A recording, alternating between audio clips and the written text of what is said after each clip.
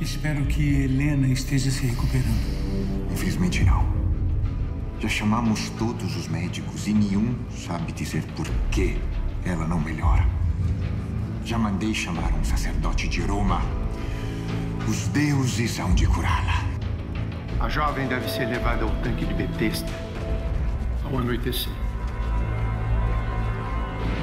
Jesus